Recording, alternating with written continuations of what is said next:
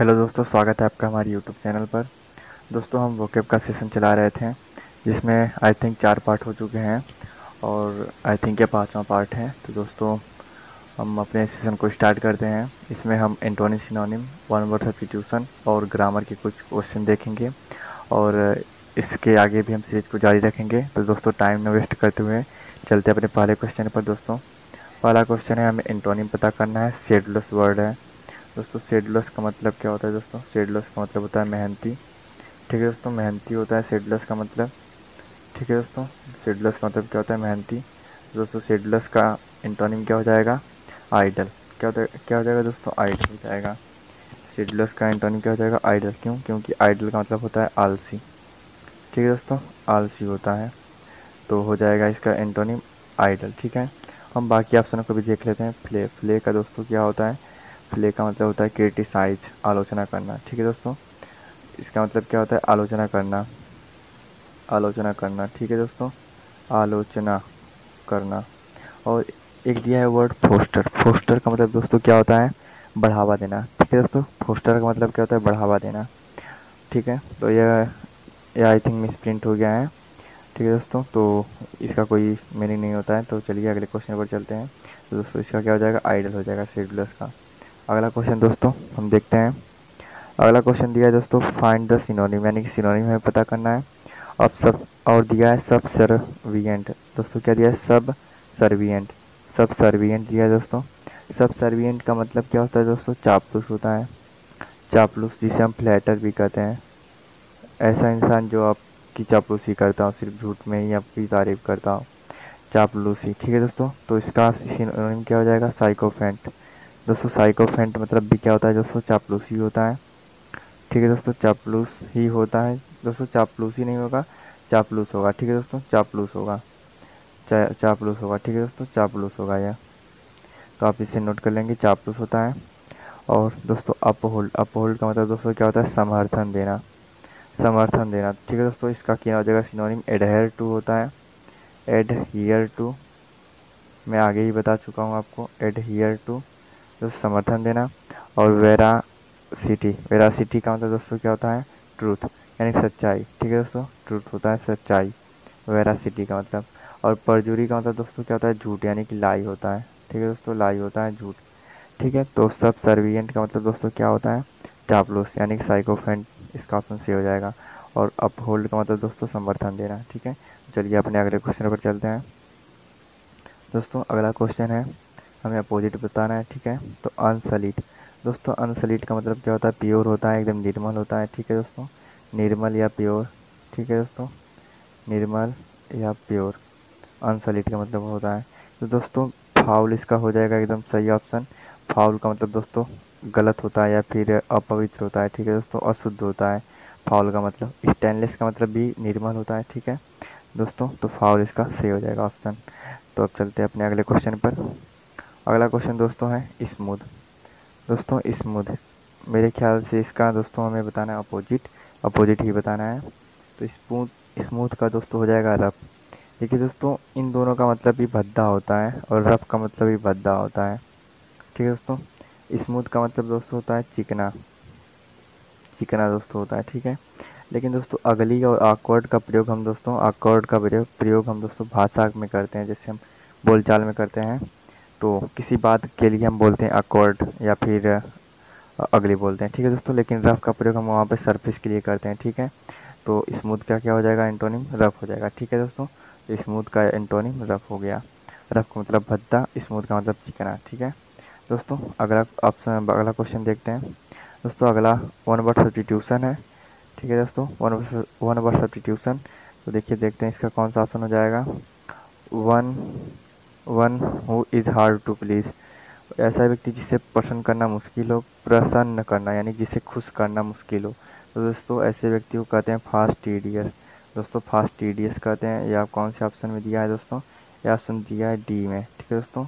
ऐसा व्यक्ति जिसे पसंद करना बहुत ही, खुश करना बहुत ही मुश्किल हो तो उसे कहते हैं fastidious option number D हमारा सही हो जाएगा।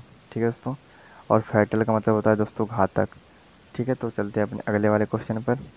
अगला क्वेश्चन दोस्तों क्या दिया है? प्लूरल हमें बताना है प्लूरल ठीक है दोस्तों प्लूरल बताना है।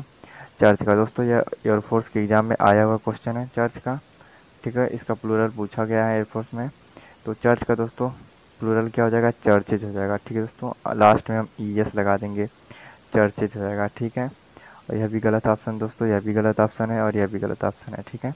तो चर्च का दोस्तों हो जाएगा चर्च चर्चेज चलते हैं अपने अगले क्वेश्चन पर। दोस्तों, अगला क्वेश्चन है एडजेक्टिव हमें बताना है, और किस वर्ड का? इकोनॉमी का। इकोनॉमी का मतलब होता है अर्थव्यवस्था, ठीक है दोस्तों? अर्थव्यवस्था होता है, ठीक है? तो इसका क्या हो जाएगा दोस्तों? इसका हो जाएगा एडजेक्टिव इकोनॉमिक ठीक है? दोस्तों, और ये सब गलत है एडजेक्टिव नहीं होंगे दोस्तों। इसका एडजेक्टिव क्या है दोस्तों? इकोनॉमिक ठीक है? तो चलते हैं अपने अगले वाले क्वेश्चन पर। अगला क्वेश्चन दिया है दोस्तों। Fill in the blank with suitable word हमें एक सुटेबल वर्ड भरना है, यानी कि इन चार ऑप्शनों में से। दोस्तों, अब हम क्वेश्चन को पढ़ते हैं। इट्स कॉस्ट दोस्तों दोस्तों इट्स रहेगा फ़र्स्ट दोस्तों इट्स कॉस्ट ठीक है दोस्तों इट्स सही है। नीक सही लिखा है its cost is three thousand rupee यानी कि दोस्तों रुपीज़ यानी कोई इंसान, मान लीजिए, बोल रहा है, कोई सामान लेने गया है तो बोल रहा है कि इसकी कीमत तीन हज़ार रुपये के लायक है। यानी कि किसी वस्तु को बोल रहा है कि तीन हज़ार रुपये के लायक है। यानी कि दोस्तों अवेलेबल भी नहीं कर सकते हैं, बाट भी नहीं कर सकते हैं, दोस्तों स्टिच भी नहीं कर सकते हैं, यानी कि वो अर्थ कर सकते हैं। यानी कि यह वस्तु तीन हज़ार रुपये के लायक है, यानी कि ऑप्शन नंबर ई हमारा सही हो जाएगा वर्थ का यूज़ करेंगे हम इसमें। दोस्तों, किसका वर्थ का यूज़ कर? तो दोस्तों, इस ऑप्शन में किसका यूज़ करेंगे? वर्थ का। तो चलते हैं अपने अगले क्वेश्चन पर।